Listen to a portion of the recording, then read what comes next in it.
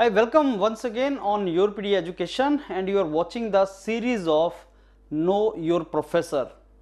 And we have done coverage of uh, academic profiling of IIT Gandhinagar. It's a great institute for you know studies and higher education, higher research. Uh, we have already published one of the video of uh, Professor Jay Chandar from Mechanical Engineering Department. This my video is uh, related to Professor Udit Bhatia and he is from Civil Engineering Department.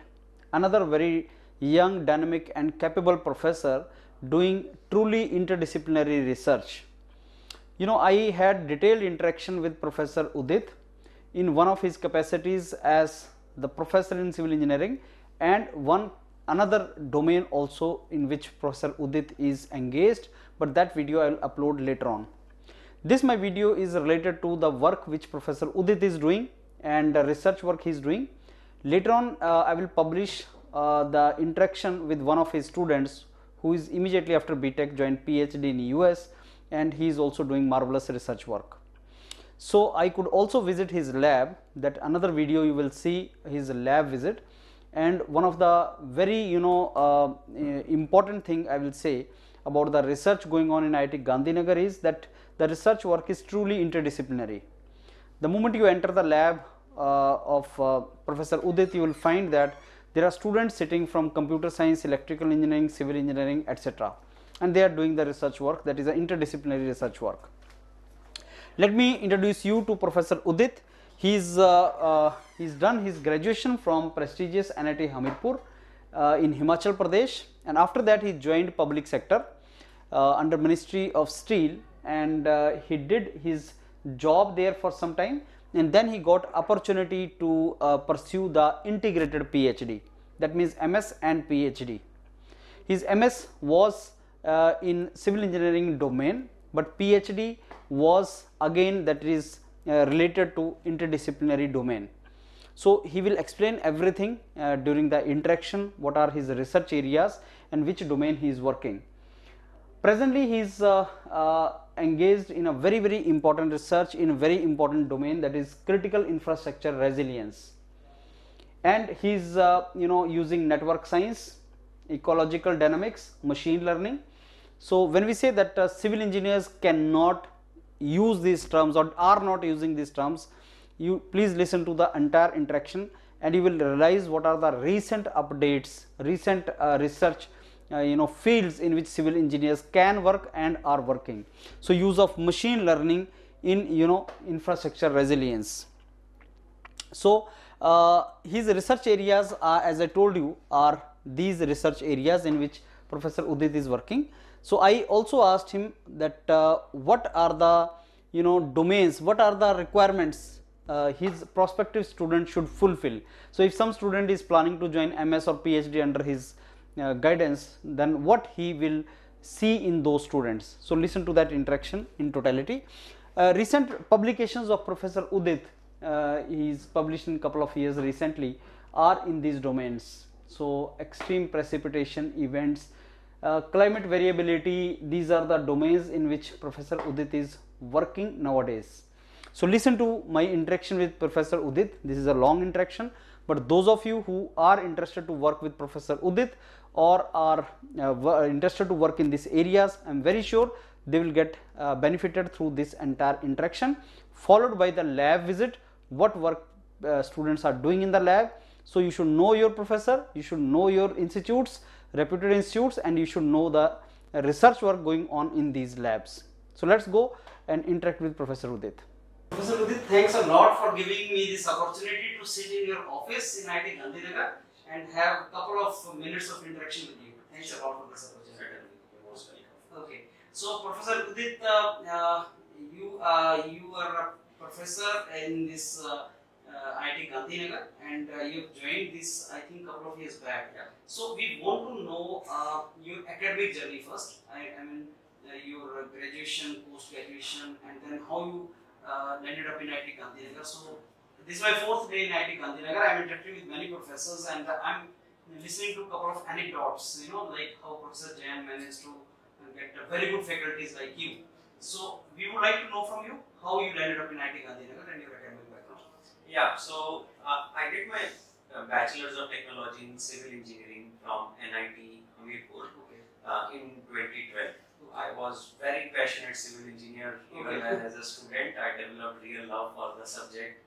Uh, thanks to the training that I got at my undergraduate institute. Yes. Uh, after that, I was having strong inclination to go for higher studies, but uh, before going directly for higher studies, I wanted to take some industrial experience. Mhm. So immediately after graduation, I joined one of the public sector undertakings under Ministry of Steel, where I worked for two years in the role of design engineer, Okay. where I was primarily associated with design of structures. Mhm. Uh, however, uh, during my BTech, I developed love for multiple subjects, subjects which are poles apart. Mhm. So I wanted to have my higher studies in a in an area where I can bring different fields together.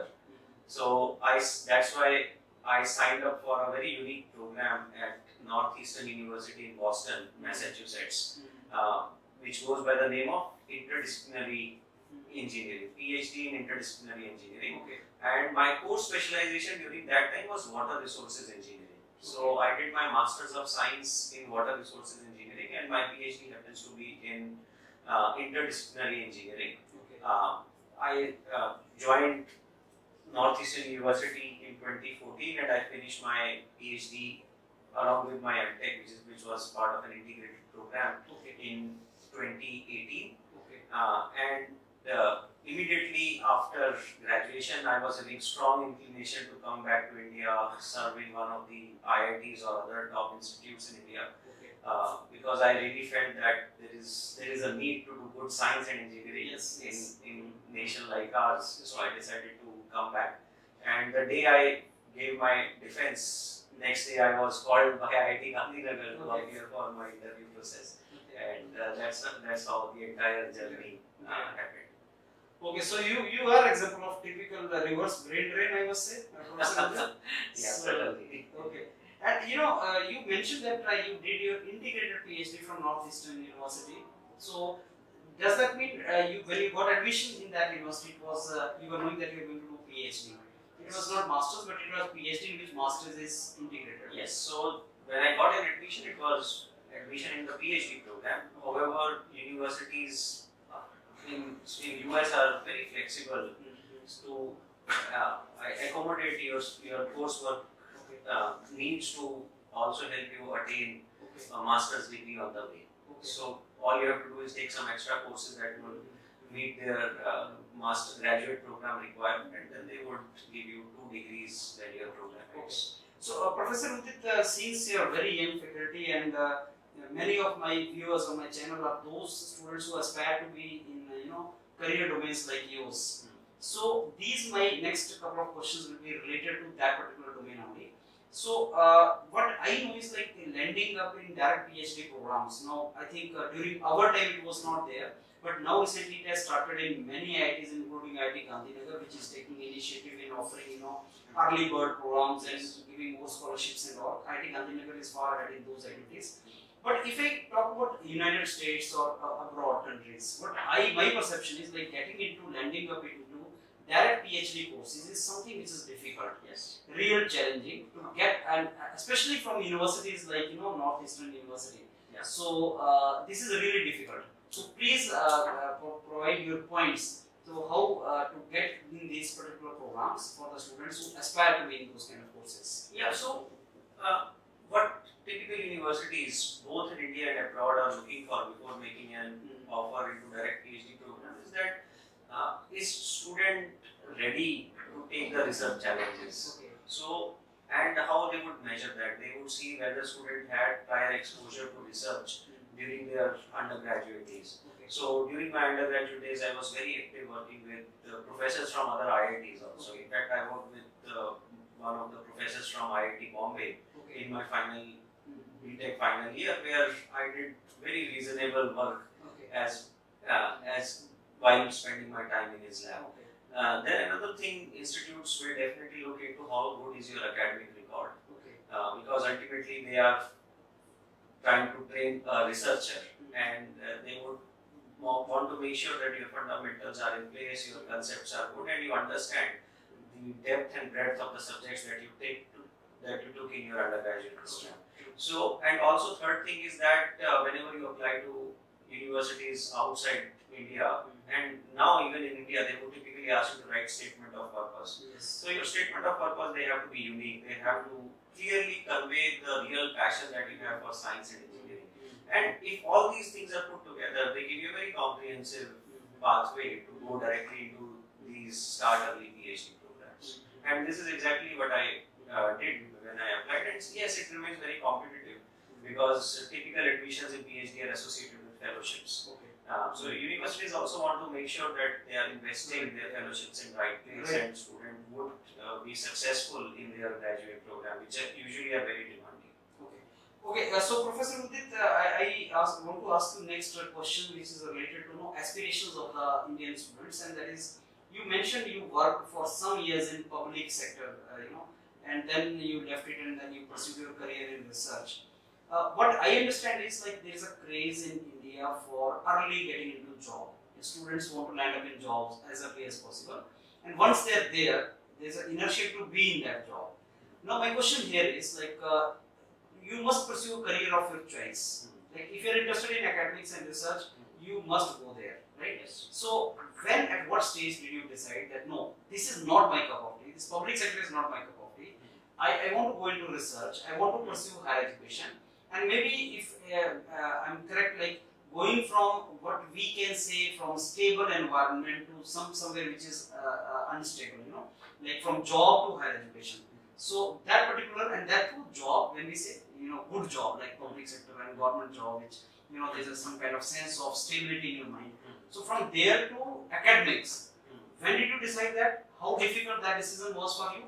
And you are a good student, but what about other students who are in similar situations? They are not liking their jobs, but they still want to go for higher education, but fear that whether that will be right decision for us or not. So this couple of things. Yeah, so from day one of my job, I would say I was very clear in my mind Okay. that I would keep all my options open. Okay. I'm not joining this company to retire from here. Okay. So if I enjoy the company, enjoy the work, which I actually was doing even on last day, Mm. I would continue. But if I find some better option, I would not hesitate to take a risk because I think this is the age Yes, where we, sh- we should take a risk and and I had a strong passion for teaching. Okay. Even even when I was a BTech student, I would organize small training camps for my colleagues, for my juniors, in fact, junior students to train them in some programming language. Uh, I was part of many student-run initiatives uh, and would conduct various workshops uh, where I would get an opportunity to teach. Uh, but I was a student that time, and that, that time I realized that I have real love for teaching. And after that, I mean, then I wanted to make sure that when I become a faculty, I do it in a right way. Uh, one choice would be is to get a next higher degree that is Masters of Technology and, and join as a faculty member somewhere. But that would have very limited research options for me. So I wanted to make sure that I complete my education before I sign up for longer commitments in this teaching line and I do justice with that. And you know, uh, when I joined the PhD program, there were so many unknowns that I learned Mm. uh, and the, the nitty gritties of research, how to convey your ideas, and that also helped me a lot as a teacher now. It has opened a new horizon of uh, knowledge for us, in fact, knowledge discovery for us, and that keeps us very excited for teaching as well as the research. So, uh, I mean, and, and then talking about risk, right? I mean, risk is everywhere, I would say. Even when you are in the public sector or even if you are in the private sector, mm-hmm. you have to be on top of your field. And if the, the, the nothing is stagnant, not even public sector undertakings are stagnant, as the country's need would change, mm-hmm. their roles and responsibilities will also change. Mm-hmm. So that clarity I also gained while working for public That this is also a very dynamic setup. I cannot just uh, wait and go along with the flow and uh, without having the, the completeness or full full-hearted efforts towards my passion. And yes, I mean I was decent in, in studies, uh, but there were many friends of mine who were in the similar positions, but they were also in similar kind of clarity that what they want to do with their life, and they also did not hesitate to go in a job, go for their higher studies, both in India and abroad, and all of them are doing fairly well. uh, irrespective of marginal differences we might have in our academic performances. Great. So you must explore at least in the initial years of your life. You should take chances. You should explore so that maybe you land up in uh, some particular profession which you really love and you are suitable for. Absolutely. Okay, uh, Professor, tell me one thing. Like uh, you, you have been you have graduated from a very premium institute, IIT Hamirpur, and then you are presently in IIT Gandhinagar. You have fairly good idea of the Indian education system, and then you did uh, integrated PhD from uh, Northeastern University. My question very straight: uh, What do a student, what does a student from India learn from those universities when they go abroad from in, uh, universities, US universities? So how uh, that learning in northeastern universities has helped you in enriching your you know entire research or academic experience. So how that particular experience is useful in your career? Yeah, so one thing that you would notice in typical US universities is the diversity and Yes. inclusiveness that these In universities the form of students also. Yeah, you will have students, I think, from almost All all, over, the countries. yes, yes. All, all countries would be represented on one single urban That's true. campus. That's true. Uh, so the Northeastern University campus is an urban campus. Okay. I think it would be one fourth of the size of IIT Gandhinagar campus as of very small? Uh, but it would have 25,000 students in that small urban campus. Okay. And in your class, you would have students from China, you will have students from Pakistan, you will have students from India, of course, students from US, Canada, you name the country, you have it. The kind of perspective that you develop while talking to them, while participating in discussions with them, I think they are unmatchable, I would say. So that was the, the key learning that I got. And, and another thing is that when we go for PhD program, most of our learning is self-driven. Of course take courses, but most of the times we are also being trained to become independent researchers. And even at IIT Gandhinagar, students do get good amount of training how to become an independent researcher. And also we have a lot of international students here, but uh, I mean, still we have a long way to catch up as an Indian academia that to have students from different nationalities and faculty from different nationalities. And again, some IITs are doing better than the others to have uh, faculty members from across the globe. But uh, in US, again, that is another thing that you will see is that if you are taking a course uh, which is jointly taught by an engineering faculty and a policy faculty. So an engineering faculty would bring all the maths and equations on the table, and a policy faculty would bring that what how a policy maker would see these particular equations. So that interdisciplinarity, I, I really enjoyed a lot, and That, that is the uniqueness of that. and that has actually helped me shape my research plan here at IIT Gandhinagar. Also, that's great. Okay, now, now Professor Udit, I come to your research areas, the research domains. So I want you to tell us briefly about which research verticals you are presently working, what are the research areas in which you are presently working. So uh, my core interest lies in the area of critical infrastructures resilience. Okay. and that includes understanding and strengthening robustness and recovery of lifeline infrastructure systems, hmm. including roadways or transportation systems, hmm. railways, uh, or anywhere we have a network where hmm. multiple things are interacting with each other and results in a complex system as we see from a bird eye view. If you see a bird eye view of a road network, you will see there are so many intersections and segments. So my my core area of research is to understand that complexity. Okay. and specifically I focus on primarily on hydrometeorological extremes which includes events like floods or flood induced hazards like landslides, debris flow and how these hazards would interact with our network systems.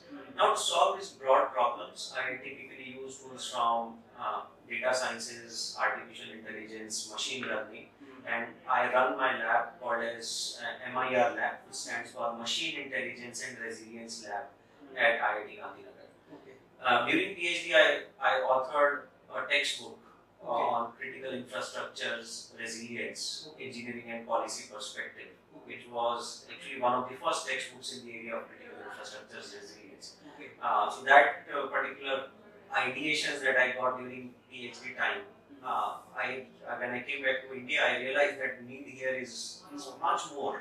Given we are in developing state, uh, there are so many so many pressures that we have on our infrastructure systems. So that has become the core thrust of my work. Great. So what I could understand, Professor, though you made it very simple, what I could understand critical infrastructure and uh, uh, you you are mentioning in critical infrastructure about a particular domain which is transportation. Yeah. Let me ask you a question this way: like critical infrastructure includes other infrastructure also other than transportation. Yeah, so so typically we call critical infrastructure. There are 16 identified infrastructure systems, which include our our bank, banking and financial institutions, which include industries, which include farming, which include power distribution systems, water distribution networks, wastewater collection systems. So all in all, there are 16 critical infrastructure systems that have been identified, and out of them, we typically call four as lifelines. So lifelines would include transportation systems, power distribution systems, communication systems, uh, and and and those those systems without which our society just cannot function. And this recent COVID nineteen time really taught us Yes, the yes. importance of these lifelines. So transportation system is one aspect of my work, but uh, I I have sort of equal inclination to work in these four lifelines. And gradually, as my lab grows, we plan to also cover other critical infrastructure systems and uh, make the clear pitch to policymakers also that why this is important to pay attention to this in overall development of the nation. Okay, great. Okay, Professor Udit, we, as we know, you know, research should be based or it should be purposeful research, focusing on solving some real world issues, problems. India is a huge country, it has capable people like you who can solve that. And India is a country which is also because it is socio-economically developing nation, many problems also associated there. Uh, can you please tell us uh, briefly like what issues you are trying to resolve through your research? What are the prominent problems uh, which can be solved if uh, someone works in your domain of research? Yeah, so first thing that we see is that wherever natural disruptions happen, we, there is a massive loss of life and property. That's true. And then the secondary side effects include that it really disturbs the socio-economic prosperity of that area. All financial activities come to standstill for multiple days. Uh, so my research exactly tries to reduce that downtime. So the mathematical algorithms that we develop, the risk profiles that we develop for multiple hazards, and the recovery pathways that we try to develop through our research, they try to address these core societal issues. Of course, it's a very broad problem that I'm talking about, but the focus research elements, when put together, they would attempt to address this broader problem. Uh, and in, in Indian uh, context, I think there is very urgent need for proactive planning as well as reactive management. Proactive planning means that before disaster happens or disruption happens, we identify that these are going to be our critical zones where we should be ready. Uh, and proactive management would mean that we are practically cannot eliminate all kind of hazards. In- During monsoons, even doesn't matter how better we build, we would still expect some level of flooding and inundation. Mm-hmm. If cloud burst happens, we would expect specifically in our upper Himalayan regions some damage to be there. But how our disaster management agencies should be ready, where their contingency plans should be in mm-hmm. place, so that the response time is minimal. Mm-hmm. So my research exactly tries to address those particular questions. Again, uh, it's an endless problem. So we focus specifically on hydrometeorological extremes. That is, with specific focus on precipitation or rainfall-induced hazards like flooding, landslides, and deluge. So, so that means your research is very closely associated with the disaster management in India. Yeah, and, and beyond that, because disaster management would talk about once disaster happens, what we should do. We also talk a lot about proactive management, that how we minimize the losses even before disaster, e- even in the anticipation of the disaster. Okay. So that is how it goes beyond just uh, talking about disaster management. That is what we call as overall umbrella of resilience. To make systems robust enough that they do not collapse, and if they they have to lose their functionality, they do it in a graceful manner, Okay. what we call as a graceful degradation. And when they have to come back to their normalcy, they should bounce back in most fluidic uh, uh, way so that the downtimes are minimal. So the damage is minimum, downtime is minimum. Absolutely. That is Okay, great. Professor, you mentioned about MIR lab. Yes. So I want to know more about that. I mean, what is that lab all about? And Yeah, so when I joined IIT Gandhinagar, again I had a lot of aspirations and dreams specifically in the area of research and putting lab together is one one of an effort. Yes. You need students, you need resources, uh, and, and more than computers and hardwares, you need good thinkers. So I started this machine intelligence and resilience lab in uh, February of 2019, one month after I joined, and I started with BTech students from IIT Gandhinagar. So I uh, at least six to seven BTech students joined my lab who said that uh, we are interested in these kind of problems, but we have no idea about research. Can you teach us how to do the research? Okay. So this they started reading research papers. We were having long conversations over cup of tea. That okay, this is what we need to do. This is what how your project should look like. We can start in small bits and pieces.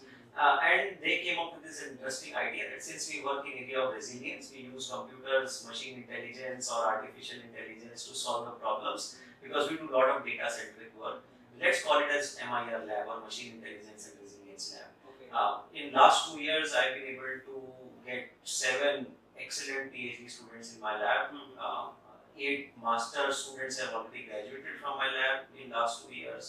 I have two JRFs, one uh, postdoctoral associate just uh, finished his time here and now he is faculty at another IIT.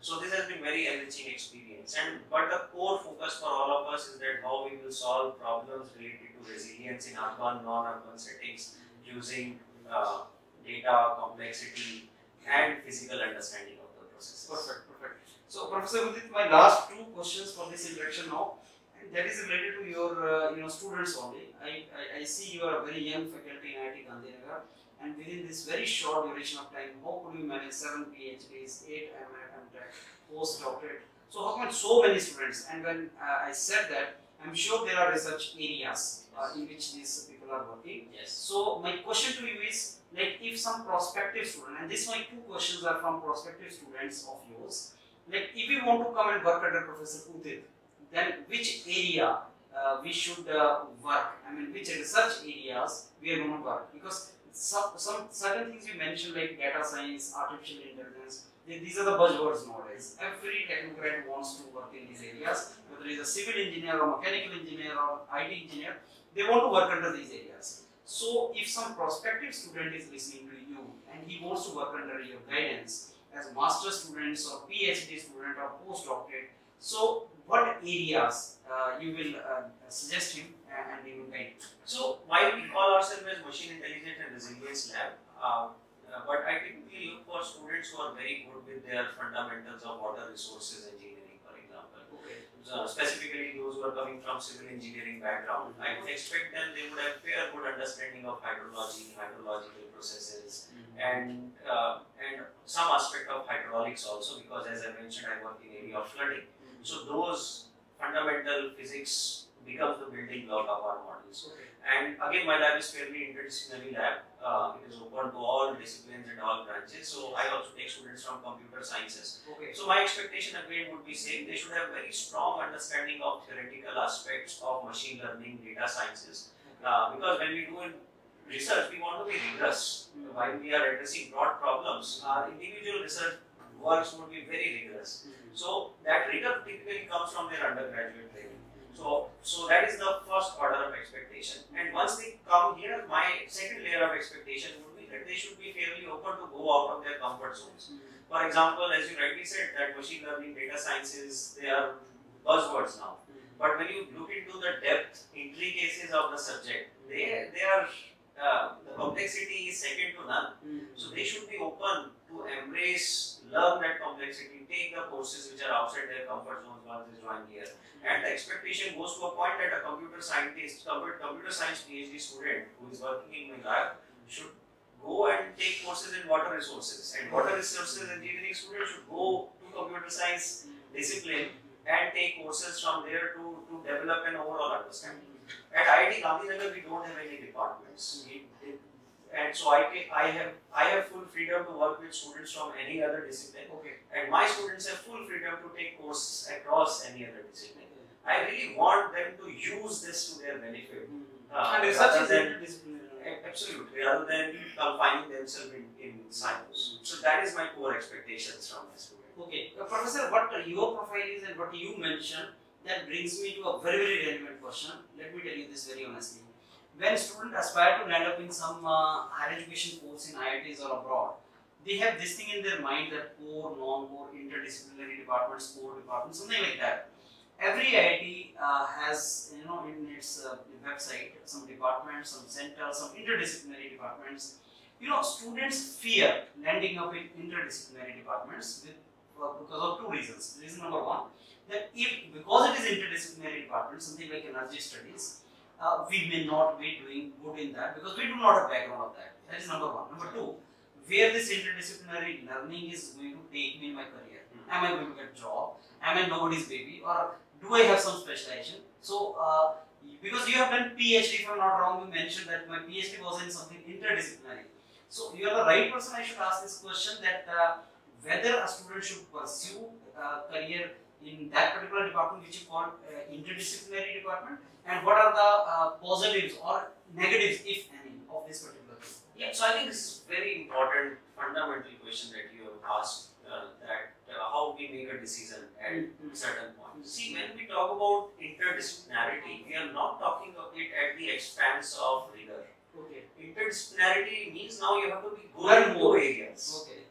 You cannot be superficial in this and this. You have to be grounded in this as well as this, and you know how to bridge these two particular areas. Yes. yes. So before you sign up for any interdisciplinary studies, be it energy, be it environment, be it civil engineering, computer science, computation and mathematics, you have to be mentally prepared that you are signing up for more difficult challenge than going for individual uh, maths or this and, and so on. Uh, of course, all the individual subjects also have their profound complexity. But here, the another level of challenge comes from the learning curve. As you rightly said, that we are many of us are not trained to be an interdisciplinary engineer. So you have to climb that learning curve that may be out of your comfort zone, and then then excel into that. And talking about jobs, right? So once we have good understanding that why we are signing up for this, I think then the worries or anxieties about job or future prospects become uh, lesser because you know you are making that as an informed choice that I have core interests and there is a reason I want to sign up for it. For example, somebody signing up for energy studies, as you said. Uh, India has a huge potential, both in terms of startups, both in terms of, in, in terms of research culture, in terms of academic exploration. We are talking about uh, EVs now, uh, but uh, in next two decades or so, we need to get our infrastructure ready for EVs. I don't really see that there is going to be scarcity of jobs if somebody focuses on what it would take to reach the pinnacle. But one thing is for sure that wherever you sign up for, you for a disciplinary studies, you go for interdisciplinary studies, you have to reach on top of whatever you are doing. And that is where your fundamental of subject would help you take to that point. So again, it's a very personal choice whether I want to become a core civil engineer hmm. or an interdisciplinary engineer. Hmm. Because that really depends what really excites you. Hmm. If uh, if theoretical aspects of of let us say mechanics of materials might have excited me, then I, I might have been talking to you as as a structural engineer. But the other side dominated my level of interest. Again, very personal choice that I made. So I would say that those aspirants who are listening to me, they should make this as an informed choice Yes. that what they want to do rather than getting carried away that what others are doing. Yes. Okay, that's great. Uh, now, Professor Udit, uh, in India, we have different kind of colleges. We have very good colleges, we have good colleges, we are not so good colleges. Now, my this question is related to those which are not so good colleges. And when I'm saying that, my point is like, uh, you know, there's a faculty crunch. I mean, good faculties, good teachers are in good colleges for obvious reasons. And then the colleges which are trying to come out and you know impart the quality education, but then they have got their own handicaps and they don't get very good uh, you know facilities because of the crunch of finance and not very good uh, faculty members. They can't get that. So now a student is getting educated in these kind of colleges, not so good colleges, not very good mentoring, not very good ideas. They also have the dreams to work under professors like you in their higher education. Now, my this question is from their side. The question is like, how can they groom themselves? How can they prepare themselves to someday work under your guidance? Yeah, I think uh, given right now and uh, post-COVID world, we are now uh, hopefully translating towards Yes. post-COVID world. Yes. But uh, COVID-19 also gave us a good opportunity to develop uh, remote courses Yes. and and use leverage online resources that are available at our disposal to learn whatever you wish to learn. So my advice to those students who have real interest in science and engineering is that use, exploit the material that is out there. Yes. If you are interested in particular subject, you would be surprised the amount of learning content that is available today online, the amount of efforts researchers have put, community has put, and with initiatives like YouTube, they don't Yes. even charge you a penny and you can access Yes. resources across the globe. That's true. So that is the first thing I would say that ignite a real passion on you, and you would see that uh, you can access courses all the way from top universities in the US, IITs. IITs have become part of this big initiative called as NPTEL or develop various MOOC courses, MOOC Yes. courses, what we say. So totally leverage that. Mhm. Second thing is that uh, try to get in touch with faculty members with whom you aspire to work in form of internships. For example, IIT Gandhinagar has their flagship internship program, what we call as SRIP programs. And I take SRIP students almost every year Okay. across from, from all over India, and they spend two three months in the lab, and uh, some of them do very good job, and I really write very strong recommendation letters, and and uh, in, in fact encourage them to apply to top places, including IITs in India and other universities in abroad. So they have to keep on exploring. We cannot just be stagnant and just over worry that faculty is not there or I am from tier A, tier B, tier C colleges. All these things ultimately should not define you. It's a level of skill that you should gain that during your student times would help you make um, cross all the barriers that we have in our Yes. uh, psyche basically. So very nicely said. I mean, now nowadays we don't have that handicap that if your college is located in you Yes. cannot get quality education. As you rightly said, that you know, COVID threw opportunity also, and many uh, very good faculties have started their own YouTube channel, uh, including you. I think Yes. you have a YouTube channel on your own name also. Yes, absolutely. So those kind of channels can be used for learning, and students can use that. Plus, connective channels like IITs have NPTEL and all. And I was seeing like uh, top universities like M- MITs and all, they so course. yeah, yes, course. open course. we Yeah, so so that is very true. I mean, uh, you not have handicap nowadays. Yes. Professor. that is great. Now, now my next question to you, Professor, is like you have a couple of researchers with you, PhD, MTech, and all, and uh, they look forward to you know their mentor, which is you, for their career opportunities, and you need to take the responsibilities and you need to facilitate them to have a very good career ahead. So, as their guide, what comes to your mind uh, when you think of okay, what career these guys are going to pursue later in their life? No, so that is again very important question and very difficult to answer because you know all students that I have they are very unique, very distinct in their passions, choices, and their career goals. So my first objective is to train them to become an independent researcher. Doesn't matter where you want to go. First of all, you should be a, a well-trained, independent thinker, writer, communicator, and of course doer. You should know how to do your stuff very rigorously and very very neatly. So that is the first baseline that I have for all my students. Then out of seven students I have, one of them is very much interested to join industry.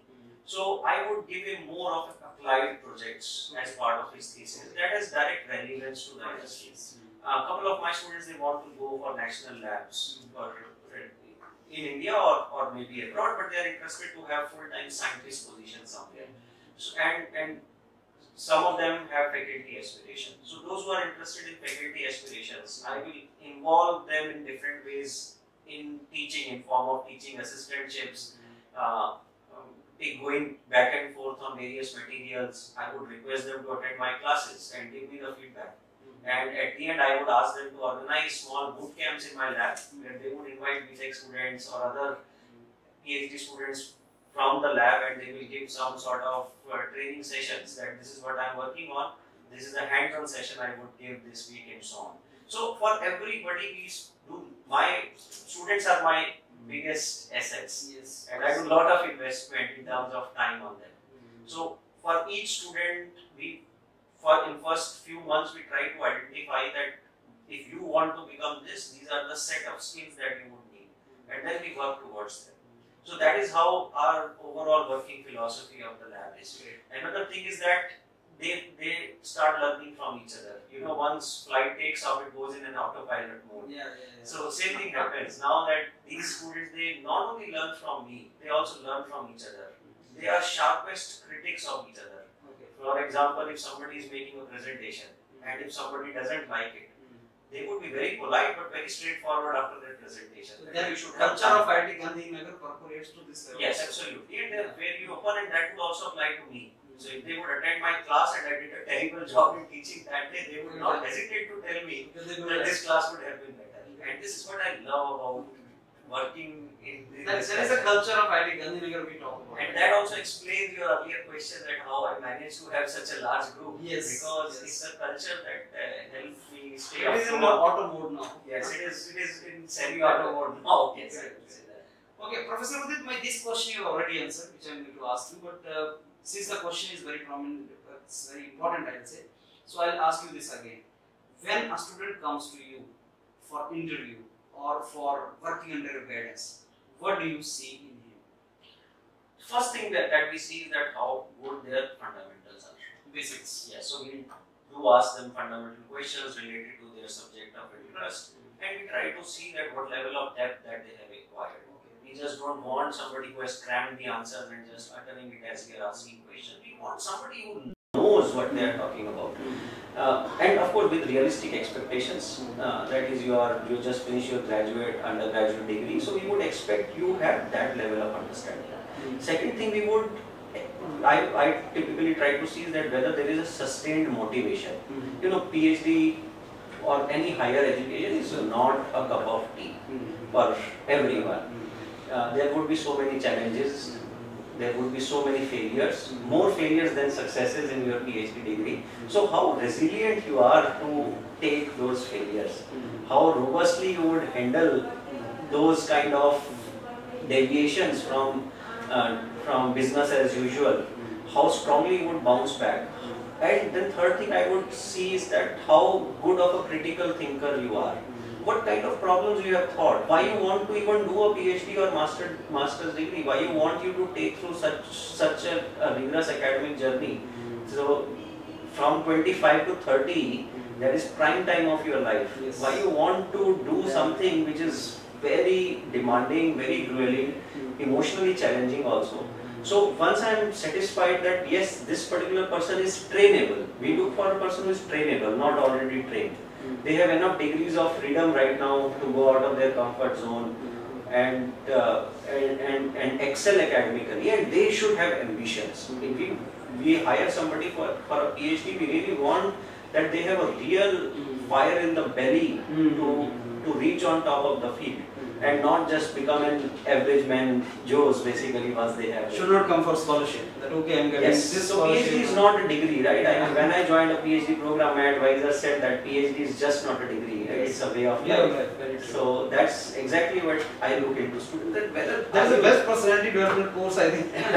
yes, I can say leadership initiative, I think. Yes, That's absolutely. great. Okay, great. Professor Udit, now my last uh, question to you for this interaction is related to entrepreneurial opportunities uh, related to your field of uh, research. So, uh, such kind of opportunities, uh, do they exist if some student wants to pursue after? Yes, absolutely. And uh, in fact, I have very strong uh, uh, interest towards taking some of the the products that we develop in my lab towards translation. Okay. So, for example, when I was a PhD student, I uh, filed a patent, and I have a US patent in my name. Okay. And idea is to uh, really fuse what I developed during PhD and what my lab is developing independently, and come up with a series of products specifically targeting certain financial instruments, including insurance industries, reinsurance industries, uh, and help them design a better flood management program, as that is my core area of interest. So, uh, and IIT Gandhinagar does provide us lot of support for incubation. So we have uh, fully functioning research park here. Mm-hmm. We get a lot of mentorship, how to file a patent and so on in Indian context or even international patent. Mm-hmm. And uh, even I even I give this opportunity to my students that if you really want to work on something mm-hmm. of your willingness of or your choice, you are you are free to do so.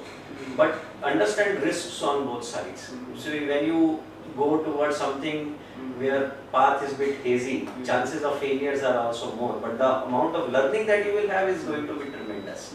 But these kind of opportunities do exist even in my lab and as, as I mentioned that my lab is fairly applied lab. We, we work very closely with policy makers. Uh, so, for example, during COVID-19, some of the technologies that we developed for road networks, we applied it for city of Ahmedabad, that how they should reopen after lockdown. Okay. And uh, public health uh, institutions, they used our dashboard that we developed during that time throughout the first wave to disseminate the information. Now, that time we were doing it as a as a social service Okay. uh, or or a product for social good. Okay. But I clearly see that uh, there is there is a huge potential to translate things like this to, to industries. Okay, Mm, great. Okay, now uh, Professor Udit, I have come to an end of our interaction, but uh, I would like to ask you a very important thing here. Uh, you know, when I visited professors, their cabins, I find one big laptop or computer, you know, but in your case, I find three. Yeah. So I would like to ask you, and you just told me that uh, this is the outcome of COVID challenge. Yeah. So I want to ask you how these three computers uh, have helped you during COVID lockdown to impart very good education to students. So what you see as a three laptops is just a one single computer that is Okay. joined with each other. Okay. And in fact, when I teach, I add two more screens here. So Okay. what it helps me is that uh, when we are teaching online, Okay. uh, we really wanted to give uh, very good experience to our students. Okay. So I would attach my tablet, what I typically use in, is an iPad, where I can write as if I am writing on the whiteboard. And if you would go to my YouTube channel, you will see the glimpses of that. Okay. Now when I'm explaining some very difficult concept and at the same point I want to show them some demonstration. Oh, this is how this mathematics looks in a real life. Okay. Within fraction of seconds I can switch the display from Okay. my iPad to one of these screens. Mhm. And now once I'm done with animation, Mm. I also want to show them how I will write the piece of code, a Okay. computer code or a, or a Python script Okay. uh, to do it myself. Mhm. Then I would immediately switch to the third screen. Okay. However, I don't want to lose what my students are doing Okay. because they are at home. I don't. I want their full attention here, and I also want to be to pay my full attention to them. Mm. So one of the screen is dedicated to the display where I can see all the students in one single frame. Mm. So that is I, this is the infrastructure that I developed uh, during uh, COVID-19 Okay. so that I can seamlessly interact with students. Mm. And I must say that students loved it. Mm. It- Not even one single day. Of course, there was online fatigue and all those things, but not one single lecture we felt that we are compromising on learning because of this online. So. Professor, are you also going to use the components of online learning which uh, you evolved during COVID, even after post-COVID? yeah, so, so Yeah. right now some, we have already started some of our classes in hybrid mode. Okay. So I, I am totally leveraging the materials that I have developed and that I shared on my YouTube channel. Now students are know the expectation that before coming to the lecture, Mm. they will watch a particular lecture Mhm. and when they come to the lecture we'll only solve problems or have a broader discussion about that topic. Okay. So we are doing this hybrid in a sense that uh, this is typically called as a flipped classroom Mhm. uh, where students will learn everything on their own and instructor would only be a doubt clearing person for them or would help them solve as many problems as they can. So they would spend same amount of time before coming to the lecture and then same amount of time in the lecture where we will together do the assignments. So, so whatever content you are uploading on your channel, is that content relevant or useful uh, for your own students in Gandhinagar or that can be useful for other students also? I mean, there are certain content which is beyond curriculum or general content or something like that. So all the courses that I have developed, I have developed it uh, independent of who is studying. Study, okay. So it doesn't refer to students at IIT Gandhinagar Mhm. students. Mm. So they would cover these are 20 20 minutes video. I think I have around 100 videos Okay. on one particular course Okay. because the attention time or typical human being has is 20 minutes. Mm. So 20 20 minutes videos are there Mhm. where I will explain every concept in detail Mm. and not only students from India.